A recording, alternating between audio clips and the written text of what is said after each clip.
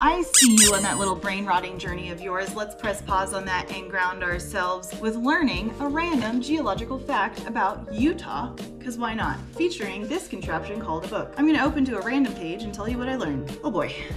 I opened page 104 in case you have a copy yourself. What it's trying to say is that for very long times, there were subduction zones along the western part of the United States, which obviously influenced the geology of Utah and the entire area. And when you have a subduction zone doing its subduction zone thing, it compresses crust on the other side. And because of the subduction zone, there was considerable shortening of the crustal rocks in western Utah and eastern Nevada at that time. I mean, if you have a giant plate just subducting and pushing into the continental plate, it's gonna squish something. Neat. I know almost nothing about Utah geology, except I know more now. You can go learn something on your own. Come back, comment, and tell me what you learned, because I love learning. Okay, thanks, bye.